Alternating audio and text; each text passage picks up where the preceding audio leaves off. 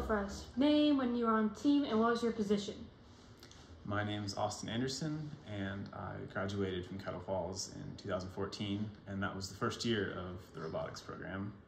And while on the team, I was the uh, lead of the mechanical design team. Awesome. So, what made you want to join the team, especially in that first year?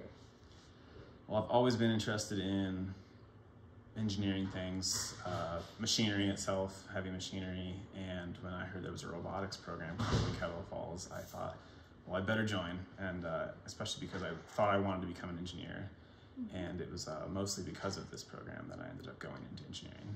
That's awesome. So, what are you doing today? Well, as I mentioned, I uh, went to um, University of Idaho and I received my Bachelor of Mechanical Engineering and my Master's degree in Mechanical Engineering. And now I currently work for a software company where we, um, we write predictive maintenance programs uh, for heavy rotating machinery. In what ways has your first robotics experience impacted your life? Well, first robotics really showed me how much fun you can have doing nerdy things.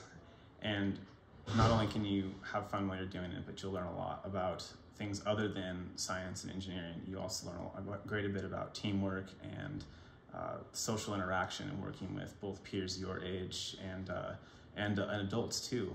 And so all around, it's just it's just a very massive learning opportunity that that I think that you know not not everything. Uh, you know, sports don't always give that to you, but this, you know, it offered a, a unique perspective on, on that. Yeah. What is your favorite memory from First Robotics? My favorite memory, uh, as I said, it was the first year of our program, and so uh, the robot that you guys use today is not the same as the one we used then. No. And so uh, it was held together quite literally with pop rivets and anything else we could find. And so my favorite memories, and I say memories because this happened often, where our robot would break during a match, and so we'd have to pull it off after the match, and I would drill some holes wherever I could and put more pop rivets in. if you could give current First Robotics students one piece of advice, what would it be? One piece of advice.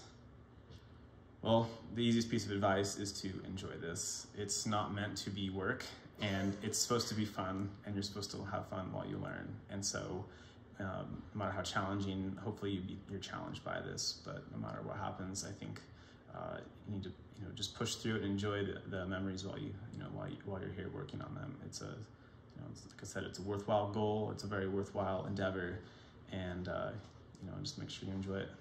Yeah. Thank you so much for your time. Thank you.